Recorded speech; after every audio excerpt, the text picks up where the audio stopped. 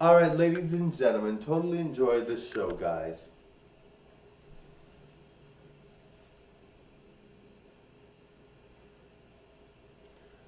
Now, guys, being a cis person, some sometimes there are totally different rules than you would expect um, in life for everyone else. Now, I know you're like, well, cis people have the advantage, cis that, cis this, cis that.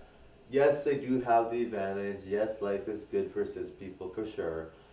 But the thing is, cis people have, you know, a kind of like a very much, like a life they have to go through based on their cisness, right? Like sometimes life for cis people is hard, you know, sometimes it's tough. But I mean, really, I'm very gorgeous, so I'm really, I'm happy about being gorgeous. And so, you know, one, one of my parents is very nice. She's like, don't be sad, you're gorgeous. I don't know why she said I was sad. I don't know what I said. Maybe I did say I was sad. I don't know. But she's like, you're beautiful, don't be sad. And so I'm like, yes, that's true. I shouldn't be sad.